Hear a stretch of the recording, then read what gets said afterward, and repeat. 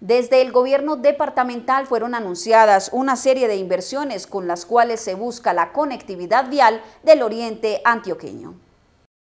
La construcción de la doble calzada Sancho Paisa El Tablazo y el mantenimiento de vías terciarias en Argelia, Abejorral, La Unión, Nariño y Sonsón fueron algunos de los anuncios que hizo el gobernador Luis Pérez, asegurando además que ya están garantizados los recursos para el caso de la doble calzada que unirá al sector de Sancho Paisa en Las Palmas con la vereda El Tablazo en Río Negro y que se construirá a través de una asociación público-privada, el mandatario dijo que en abril se haría la licitación por 1.1 billones de pesos para la construcción, financiación, operación y mantenimiento del proyecto, que contempla una carretera de 13.8 kilómetros, un peaje en la mitad de la vía y ciclorruta. Asimismo, el Ministerio de Hacienda también aprobó las mejoras en la vía Marinilla El Peñol Guatapé para que su construcción se efectúe a través de una asociación público-privada. Por su parte, se informó que por medio del órgano colegiado de la Administración y Decisión Regional del Eje Cafetero,